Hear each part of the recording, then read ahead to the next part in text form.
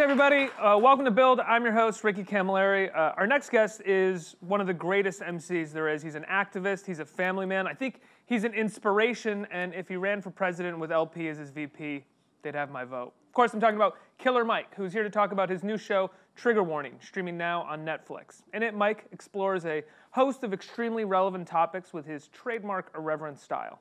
Let's take a look.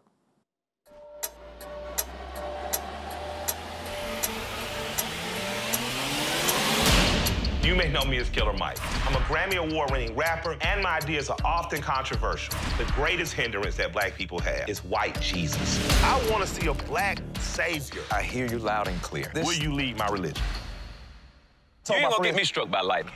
I'm trying to introduce people to new thoughts and concepts. Killer Mike! I want to know how difficult it is to truly live in the black economy. No racism, but you're Asian and I'm only spending money in the black community for the next three days, so you ain't black. I can go buy a Hell's Angel t-shirt. What do the Crips have a soda? The symbol feels a little bit more corporate. Yeah. No, I haven't worked with a gang before. This is a uh, first time for everything. There's simply no room for independent free thinkers anymore. It's time we started fresh. I would like to deem this place New Africa. I need to produce educational pornography. Balls to the wall, put your nuts on the table. We can show the rest of the world that there's a brand new way and a brand new day. The kid was super mean to me. Word? Yeah, he said you're not like everybody else. You're one of Earth's original people. Hold on, man. Because if you jumped in front of him right now and I was telling him to be proud to be black, that'd be like the first lesson in white privilege he learns, and we don't want to oppress people right now. You got me? Word. Give it to me. Oh, that's an ally. Everybody, please put your hands together for the great Killer Mike. Thank you so much for being here. Thank you for having me. Uh, I believe I was gushing over you backstage. I love you, man. I love your work. I love what you have to say. I think you're sort of one of the great speakers, one of the great voices right now in pop culture and, and in the world. So thank you for everything that you do. Thank you. Um, this show is so much a part of that, right? It's yeah. so much a part of what you do as a musician and what you do as an activist. I think everything is entwined with you. Yeah. So how did this come about? I know you work with the same director per episode. So yeah, Vikram. Yeah. Vikram um, is amazing. I forget the name of his um, his documentary, but essentially he he, he um, cast himself as a religious leader from India. Got a lot of people to follow him. And had an amazing documentary about it. I'm, my mind's slipping right now. But yeah, I wanted to go through the same director because I wanted someone who got the vision. Daniel Weidenfeld, who's a co-creator along with me and co-writer, Daniel and I have been friends. Daniel's you know, short little Jewish guy from D.C., big black guy from you know from Atlanta. His older brother and I are friends, and he and I just became best of party buddies and friends. And these are things and topics that I've had in my head and that he and I discussed time and time again. And we wanted to bring it to TV for about 10 years and finally got the opportunity to do so. And I hope you guys enjoy it when you check it out. It's streaming today uh, on Netflix. Right? is. It's, it is. Uh, it's so great. I'm like, I'm four episodes in. I want to talk specifically right now about the third episode where yeah. you work with uh, some gang members of yeah. the Crips and then, you know, eventually with Cripicola, yeah. With Bloods also, yeah. And some Bloods as well.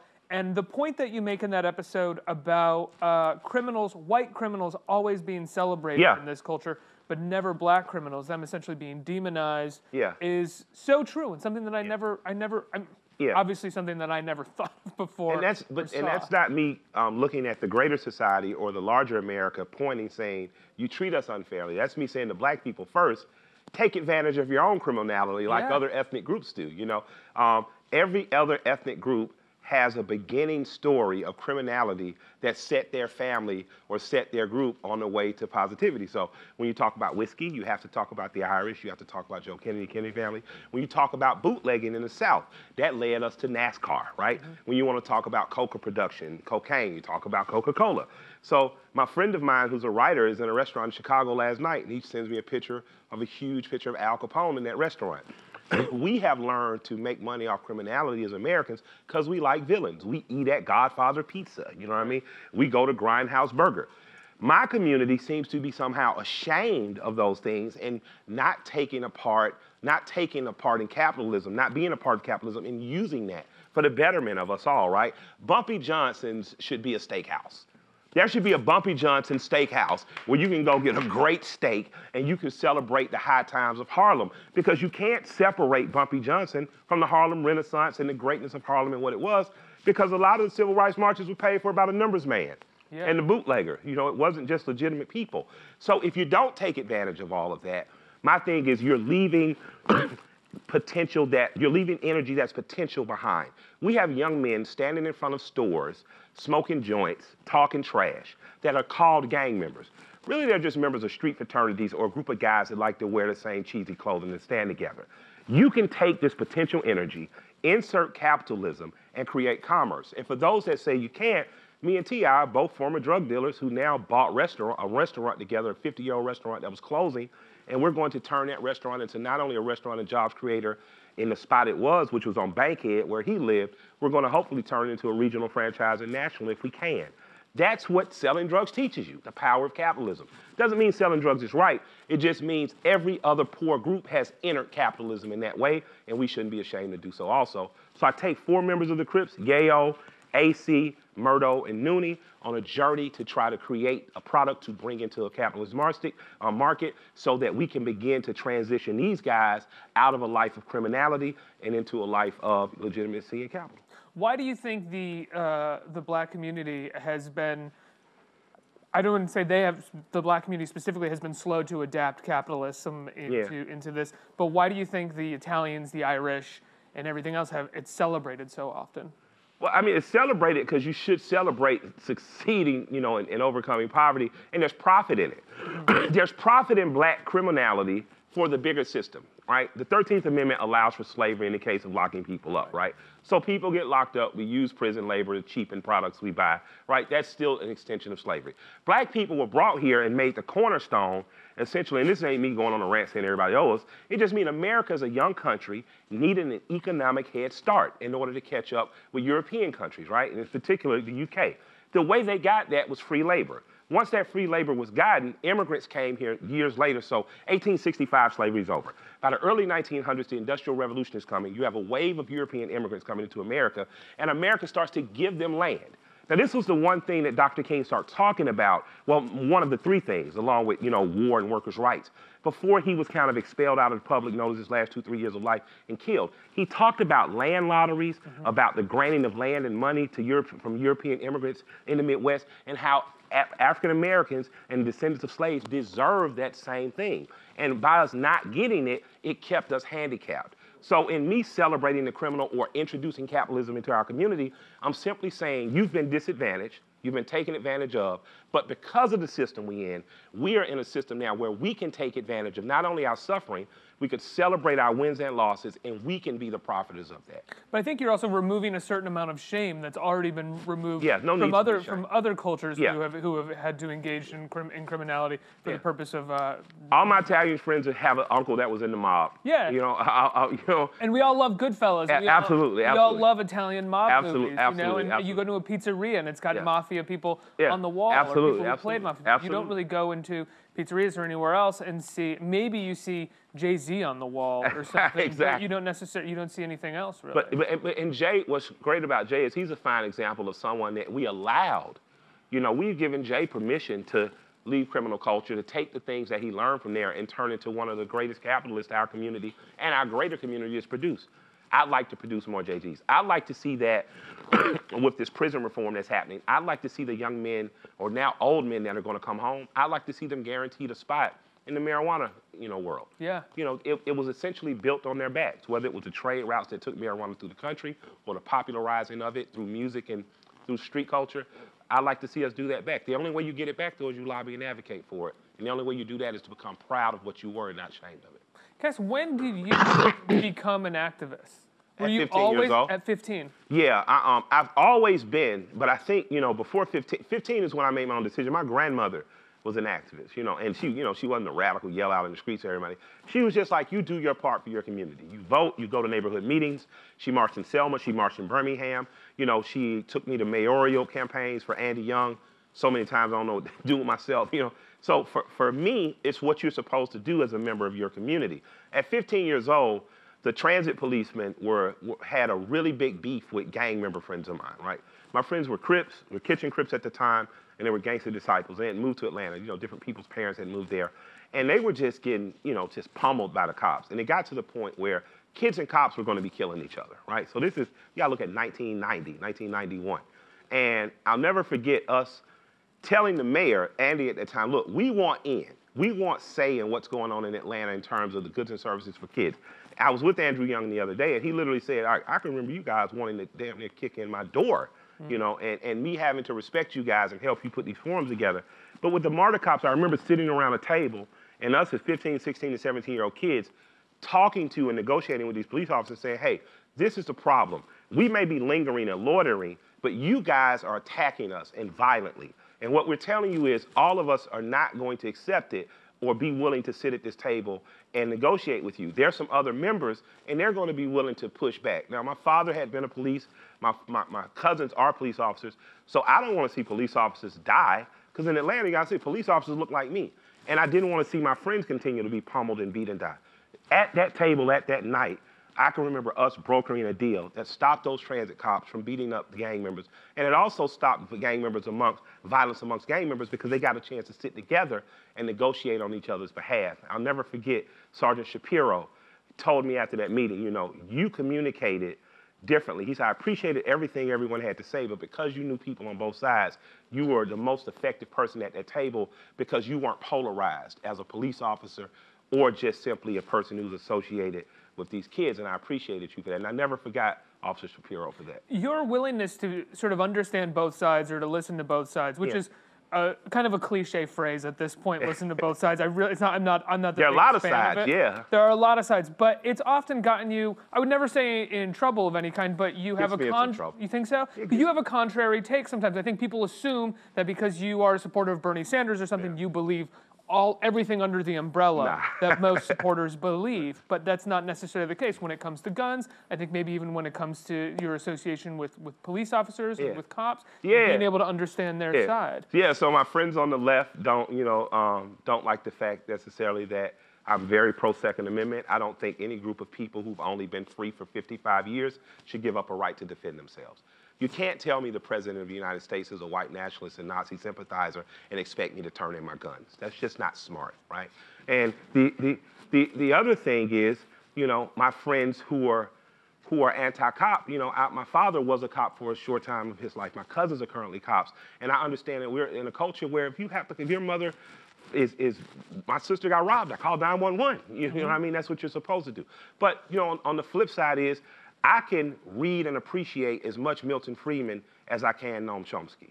I can understand perspectives from Thomas Sowell in the same way I can Cornel West. And if you can't do that, then you've been fed an opinion and you're simply a regurgitator of that opinion.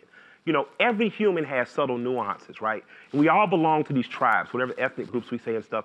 And we can't let a tribal mentality prevent us from connecting with other people on an individual level because the ambassadors from each tribe are the people who broker peace, essentially. Mm-hmm. So for me, it's important that I play chess standing up, looking down at the board, seeing the whole board, versus simply playing chess from my side, trying to win or beat the other side.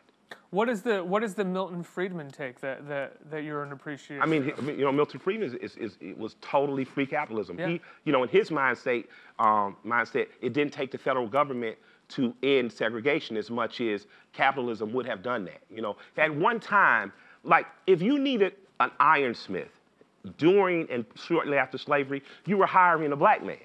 If you needed a woodworker, you were hiring us. If you uh, the jockeys at the Kentucky Derby. So at one time, we were instrumental at industry in this country. And when our work wasn't free anymore, all of a sudden we became something that was unwanted and people didn't want. But your skills and labor were still needed, so you still stayed employed. When you began to enforce things from a federal government standpoint, you know, some people say that it went really well for us. Some people say it went really bad for us. But I have to listen to all sides. I have to listen to Milton Friedman. I have to listen to Thomas Sowell. I have to listen to Noam Chomsky. I have to listen to Cornel West because it provides me with a wide enough spectrum to somewhere in the middle find the truth that works for me individually, for bigger works for my community, and if my community is strong financially, then the greater community becomes stronger economically and financially. Now, the subjects that you talk about in the show, right? The first episode we see you are trying to you're trying to sort of live specifically only off of yeah. black economy. Yeah. Uh, we see you working with the Crips. Oh, tell me about the subjects of the show. Yeah, um, I, I have the I have the ability to go on Facebook and I can go to um, websites and I can buy criminal culture stuff from other people. Like I can buy a Bugsy, uh, you know, Bugsy Siegel T-shirt. I can buy an Al Capone T-shirt. I can buy um, a Pablo T-shirt. Right? I can buy a Hell's Angels T-shirt. I cannot buy a Crip or a Blood officially sanctioned T-shirt. Yet Levi's will sell me a pair of jeans where on one side there's a red bandana, ironically enough on the right side where Bloods wear theirs at the height of Lil Wayne's popularity, or on the left side, if they're selling the Snoops and the Levi's, Converse will sell me, you know, and this, I don't have anything against these companies. If I was selling, I'd do it too. But you'll go in a Foot Locker in some cities, and one wall will be all blue shoes, and the other wall is red shoes, and you get to know pretty quickly, like, oh, they're marketing to the kids I know. Why can't these kids then market and create a product for themselves? You know, why can't we say to ourselves that the spirituality part of Christianity, Judaism, um, Islam are really good, but we don't like the part where we invade uh, indigenous people and we force our religion on them. Let's not do that part, right? When you start to suggest that deity should look like the people who are serving them and not the people who have oppressed them, that makes some people uncomfortable. But for the people who've been serving under a deity that doesn't look like them, it gives them the opportunity to see something divine within themselves. And I just, I've had these thoughts probably since fifth grade.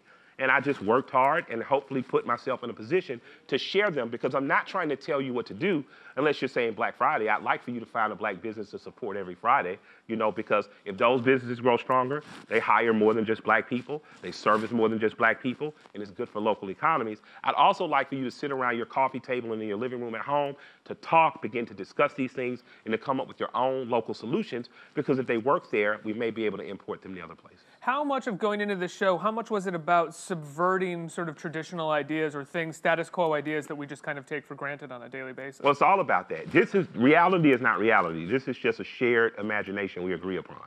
Right? Buildings don't just pop out of the sky. They are not natural. If we didn't upkeep them and keep weeds from overgrowing it, you know, it looked like a Will Smith movie if we didn't take care of New York in a few days. It, the jungle would take over it again. So this is just something we agree on. We can progress our thinking quicker and we can agree on more progression quicker and we can change things quicker, you know, if we choose to do so. By not choosing to do so, though, we're only choosing safety over freedom, and that's never a good outcome. How much was it about not just pinpointing and subverting these these status quo ideas, but also finding solutions and basing the episodes around kind of positive solutions? And Well, it was about it because I don't, I don't know the answers. Like I find out the answers on the journey. You know, I, I don't I don't you know I don't have the answer to unemployment. I never liked working. you know what I mean? but I. That's wa- not true. You work your ass off. Yeah, I think but- you're one of the hardest working showmen there is. Yeah, but that's a job I love, so I've never considered it work. But man, when I worked at the Advanced Auto Parts, I was just in my car sleep in the back, bro. you know, I um, I just I just want I, I well, as I go on these journeys, I learn more than I teach. Believe it or not, you know, I've learned. I learned that my grandfather was right when my grandfather told me. You know, post desegregation, we're, we're worse off. I'm just like, what are you talking about, Pop? I go to graffitis, I dance with white kids, we're listening to George Michael, Faith. What are you saying? And he's like, you shouldn't be going to corporate drug stores. You shouldn't be going to corporate um, grocery stores. You should be going to Hunter Street grocery store. You should be buying produce fresh off the back of a truck of the vegetable man. And now as I've grown older and those things have dissipated and now everything seems to be corporate, I'm understanding, wow, Burke was right. He was exactly right. Because now when the movement tells you um, to shop local or to do these things again, our grandparents were already doing those things. And for convenience, we gave up our ability to do those things, but we can reclaim that. And I think we should. When I say buy black, essentially because blacks don't own huge corporations yet, not, not a lot of them, essentially what I'm telling you is buy local, bank local, you know, um, use your, get your produce local. Get your, get your food sources locally from the small restaurant, not the chain. So don't get offended that I say buy black. Go support a black business every Friday. Watch that business grow and appreciate you as a customer and help build a business that'll do the same in other communities. Yeah, uh, we have a question coming from Twitter. Let's take a look uh, at that question. Uh, the question is, it's from Kirsten Maryland. Will you, will you endorse Bernie Sanders for president in 2020? If not, is there someone else you believe in that you will put your weight behind?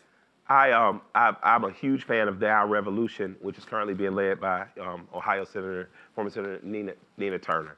She's amazing. I tried to disengage from politics, and she treated me like an auntie talking to a bad nephew and says, You're going to stay engaged. Why did you try to disengage? Because I was, I was disappointed in us as a country by not um, electing Bernie Sanders as our president versus Donald Trump. I think he's the only person that can beat Trump. I thought he was the only person that could beat Trump then, and I don't see anyone else who could beat Trump in 2020. If Bernie chooses to run, I'll be right there at his beck and if he wants me, and I'll be pushing as hard as I ever would. Um, unfortunately, though, it seems that Magneto has the Oval, Oval Office, and we're praying Professor X comes out of retirement. Why do you think Bernie's the only one that has a chance to, to beat Trump? I think to put out fire, you need water. I think the only way you put out um, what you currently have in the White House is to have the exact antithesis of it. It's not to have a middle ground Democrat or a neoliberal. is to have someone who is the direct opposite of it. You know, we talk about um, not that middle ground specifically, but the middle ground that you try to find both in conversations with other people and the issues that you explore. Was that something that you felt or knew before you started working so much with El-P and like you two sort of like bridged both of your aesthetics, both culturally and musically? My friendship has helped it grow, but I already had white friends. Didn't have as many northern liberal friends. That's weird. You know, I'm a southerner. I'm a black guy, but I'm a southerner. You gotta understand, you know, I enjoy fishing, hunting, fast cars, the absence of, you know, legal municipalities and government in my life. You know, I, I, I, li- I have lived a lot like swamp people in my life, you know what I mean? My grandfather hated the fact you have a swift, had to have a fishing license. Why should you need a fishing license? You get hungry, God put fish here for you to eat. That was his philosophy. So learning that has helped me. Learning L as a person has helped me. But my grandmother, Betty Klontz, is really the person who taught me empathy and sympathy and forgiveness and how to progress. When they were sharecroppers before they owned their own land, the family that they worked for essentially had land, but they were a poor white family. And the husband could be really mean. You know, he called the girls boys, boys, but he, he didn't care. He was just trying to get his land, you know, toiled. And the, the, the woman, the wife, I found a letter from her thanking my grandmother years later for my grandmother sending her money, visiting Tuskegee, providing resources for the woman because her children had moved out of Alabama and weren't taking very good care of their mother. And I told my grandmother, You've told me all these stories just about how brutal they were to you and just like mean or just how they hurt your feelings. Why in the world are you helping this? Like, you know, I was really on a tyrant. You know, you're 15, 16, you're all pro black. And she said, They didn't know any better because they weren't taught any better. And if I'm taught better, it's my responsibility to be better. She had in her life found empathy and sympathy and the ability to teach someone who had been mean and had oppressed simply based on race that transformed not only her as a human, but the other person. This lady wrote like a four or five page letter apologizing for her behavior and saying the same thing my grandmother reiterated, reiterated to me.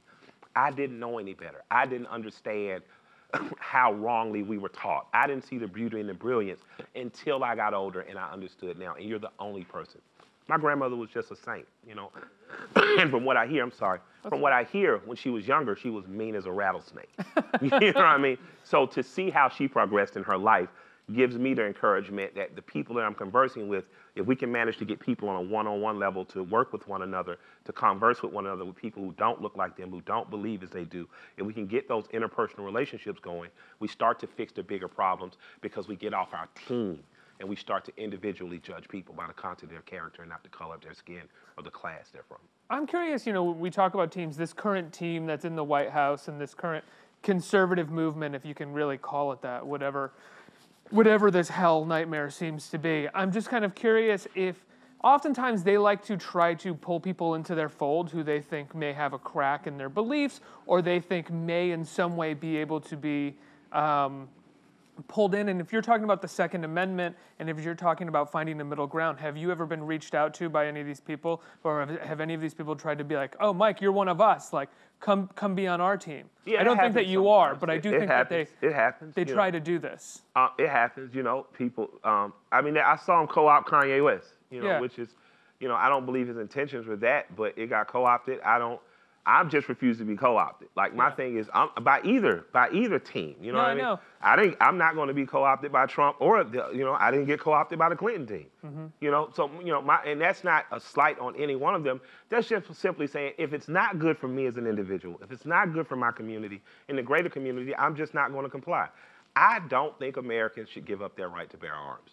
You can't say that we have Hitler in office and then say, hey, let's give Hitler our guns. Right. It, it, it, it makes no common sense, right? So I don't believe that. I do believe that we should have Medicare for all.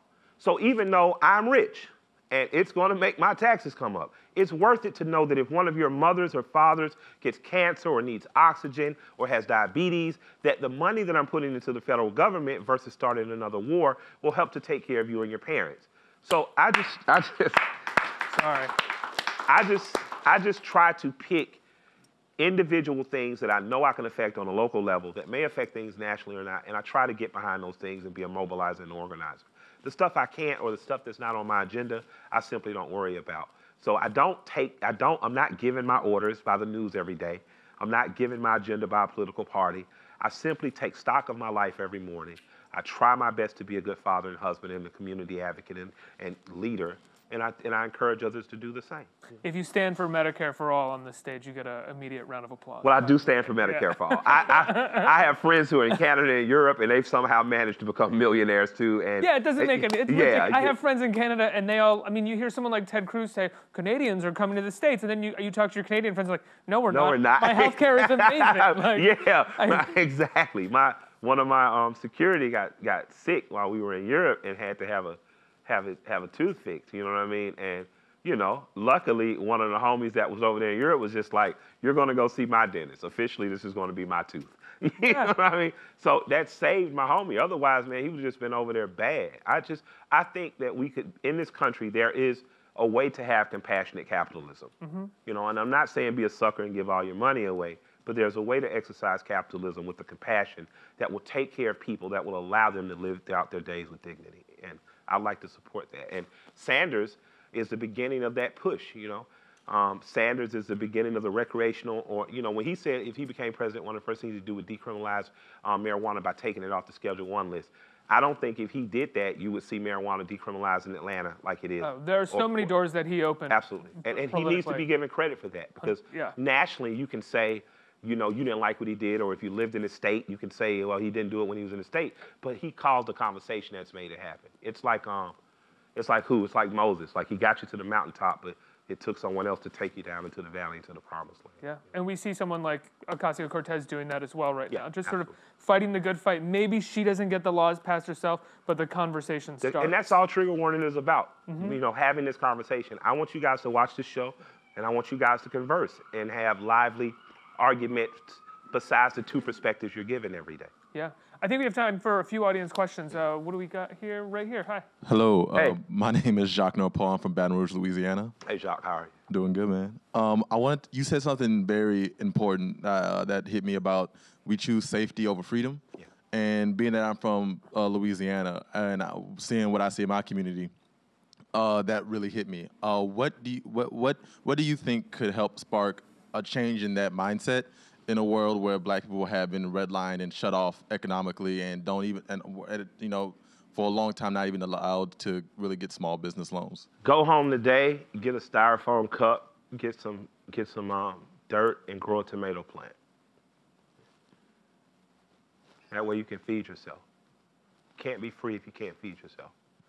You know, I thought freedom was when I went fishing with my grandpa or when I went hunting with my uncle. You know, we caught fish or killed deer, you know, and killed meat. And I thought freedom was putting that meat in the freezer and then the men got to sit around all winter and say, that meat is from me.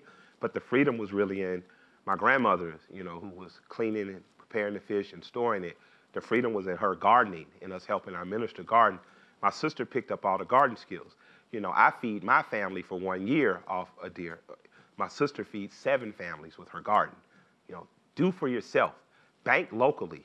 So when I say bank black, that means find the banks that locally either are owned by blacks or that treat you well as a community and bank with them. Support businesses that look like you or that are small or in your community that hire you. My definition of a black business is three things. It's either owned and operated by black people, it's either owned and operated by other people that hire black people that treat black people with fair and dignity and pay them a good wage, or it's a business that owns and it's ran by people but it's fair to the community. You know, so I just say do those things: grow your own food, take care of yourself, support the things that support you, and take care of yourself as an individual first. Be selfish with yourself. Uh, next question. Hi, I wanted to know what was the most difficult part in putting together the show, and I want to know is there any people in the hip hop industry that have come to support you with this, and do they join the, the show at any point? Um, T Pain actually appears. He pops up on one of the episodes. He helps me. He helps me sort some stuff out. The entertainment community in Atlanta has been very supportive. They came out to the premiere. They help it with resources if called. Chaka Zulu, Kenny Burns has come out. You know, T.I. and Big Boi, friends of mine, have both put it out. Um, and Atlanta as a community, period, has been helpful. It's been a 10-year um, labor of love putting this together with me and Daniel Weidenfeld. We tried several different ways. Some of them worked, some of them didn't turn out good, you know. But it, I just say, man, you know, my greatest talent has been just showing back up even after I get knocked on my butt. Just getting back up, dusting myself off, trying again. And that's what got the show on the air finally. I, th- I feel like Atlanta really got on the show, got the show on the air for you as well. I mean, watching can- you interact with Atlanta Yeah. and people in Atlanta is just like a heartwarming, beautiful thing. Yeah. They love you and they know you, and Yeah. it, the feeling seems mutual. It's It not is. like watching Bill Maher go out and Yeah, I like you know, Maher. He's no, fun. I'm not, I'm not, not Yeah. to knock Nar, Yeah. Maher or anything, but he's not really a member of the communities Yeah. that he that, Yeah, he's that- that he approaches. It's like you are very much a member of this community. Yeah, I have a Michael Moore style. Like I'm, you know, I'm I'm chubby and cuddly, so people are disarmed by that. And you know, it's it's easy for me. Bill, you know, Bill is Bill is slick, so you know. Yeah, people- Bill. I like slick elites. I like. Bill a lot. I like him a lot. Uh, I think we have one, time for one more question. How you doing? Um, my name is Markel. Um, I'm a big fan of all your music as Thank you, well. Um, uh, I noticed, like in your conversation and within your lyrics, um, you're very fearless. Like you're not afraid to have that conversation or say certain things or whatever comes to mind. Or dumb. Um, huh? Or I'm or I'm just dumb. Or no. uh, but, um, but in like sort of in our um, our society now, um, you know, there's sort of that fear of you know having certain conversations Yeah. with certain people that Yeah. may not be be on the other side of it, and you know, we all kind of from Yeah. social media, we're all in our like own little silos, Yeah. or like teams or tribes, like you said. So how do you how, how do you feel we can get to a level like you where we can be fearless and having that conversation on both sides? I, well, as as a as a greater community, right? We have to agree that the First Amendment is pretty rock solid. You know, you I want the right and freedom of speech for the person I don't agree with as much as I do for the person I do agree with. And when you wake up and you think that's your thought pattern every day. Like when I read Chomsky, Chomsky tells you freedom of speech is for the person who's your adversary as much as for you. And if you don't believe that, you don't believe in freedom of speech, right? I have to believe in George Wallace's freedom of speech as vehemently as I do, do Martin Luther King. I believe as vehemently our president has freedom of speech as I do for all the opposition he has because I need to hear honestly what you're thinking in order to honestly engage you. Not change you, not beat you, not defeat you, but engage you. So first I'm seeking simply to engage you, and if I engage you, I have to do that on a ground where it's safe for us to speak to one another. So I encourage you to not only make it safe for people you agree with to speak, but you have to make it safe for people you don't agree with to speak also. Thank you. How does that pertain, in your opinion, to platforms, though? Should people be deplatformed if they're using hate speech? Um, are we turning into the Scarlet Letter? Are we turning into mobs? Look at, go home or Google when you leave here, lynch mobs. Google lynchings. You're going to see black bodies deformed, hanging from trees, crooked necks. And I need you to know these were the people in their towns that were outspoken. The people that are hanging were the people who were pushing back. And look at all the normal, regular people around them children, moms, dads, the people who were clergy in those towns are looking at that spectacle. They're looking at that person hung. Now, I'm not saying these people are, the, the, the people that were in the audience all were evil and bad, but they were complacent and compliant with it.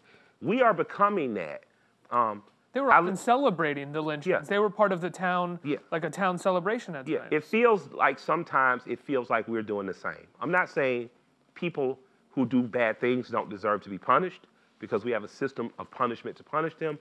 I am saying that I'm not sure if just because I don't agree with you, I should destroy your life and career. Mm-hmm. Yeah. Uh, you know, one more question. I love Run the Jewels so much, Thank you. man. I've seen you guys three times. Like, it's one of the great, I think, live shows. Thank there you so it's much. just two guys. That means the world to us. Thank you. And, And- a DJ. Shouts out and the to DJ, Fresh Start. excuse me, yeah, yeah. uh, and what, one of the great things about it is your two personalities bouncing off of each other, Yeah. and the fact that you are able to mix your activism, your sincerity, as well as your sarcasm, and as you said, stupidity, Yeah, all absolutely. together in one seamlessly. Was that an organic thing that just you, the two of you found when you played together, or Yeah. have you found that you are kind of honing how these things Nah, it's me and L. We're friends. I mean, you now you you do more. It's like anything else. You do more of what you're good at, and you do less of what you're not good at, right? So you know, the if if talking too much is too much on stage, you know to talk less and rap and dance more. You know, so you figure it out organically as you go along. But what you see with me and L on and off stage, that's us. You're you're seeing in Run the Jewels what you're witnessing is not a rap group as much as two adult men who are secretly getting to live as 15 year old boys. and genuinely love Yeah, each other. yeah, I love 'em to death. Yeah, I- absolutely. I- when I saw you guys at Panorama, you brought your families out. Yeah. And it was moving. And you were just sort of saying, hey, we're in New York and we want everyone to meet our Absolutely. families. Absolutely. And you were hugging. And it was one of the sweetest things I'd Thank ever you. seen. I think I was tearing up when I Thank saw it. you. It so nice. And there was a, no- a number of other groups that Sia played after you and LCD Soundsystem played after but we walked away being like, run the jewels, run the jewels. Yeah, I cry a lot. I'm the crier in the group. You know. Do you really? Absolutely. That's so nice to hear. yeah, I'm the guy that gets emotional and hugs L and cry with tears in my eyes. And stuff. yeah. Oh, Mike, this has been uh, an honor to talk to you. Thank you for Trigger having me. Warning is on uh, Netflix right now. Yep. Go watch it. It's not just smart and poignant, it's also really funny. Yep. And like he said, he's like a teddy bear. You can't help but love it while you're watching it. Killer Mike, everybody. Thank you guys so much. I appreciate y'all having me here.